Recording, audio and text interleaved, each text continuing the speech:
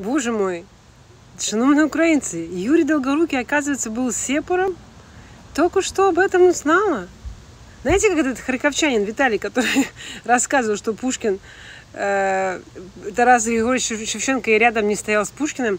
У этого даже Пушкина не было. Он просто прогнулся под половецких, э, половецкое ханство и взял в жену там какую-то там э, эту тур, турскую княжну, или как сказать, тур, турскую знать. Короче, он был изгоем в семье, оказывается. Короче, россияне, слушайте меня внимательно. Вы думали когда-нибудь, почему руки, э, это, руки у этого Юрия долгие, а не длинные? Мы же не говорим в России долгие руки. М? Представляете, вас мало того, что сделал, вас еще сделал лузер.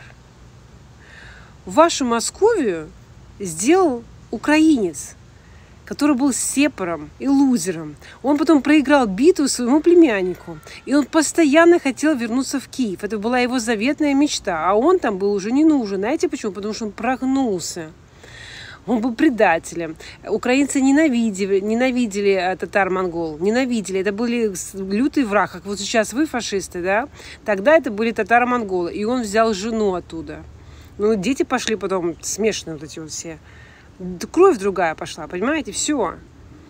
Боже мой, я хочу сказать, э, в нашей, когда я училась в школе, эти занудные учебники, перепечатанные какого-то там 45-го года, Сталин их перепроверял, Берия перепроверял, Брежнев перепроверял, а сейчас куча достоверных источников. Россияне, что же вы не, не просто включайте там место свое, это Симонян, включайте Александра Полия, боже мой, прекрасно рассказывает, он этими, он, боже мой, он энциклопедия.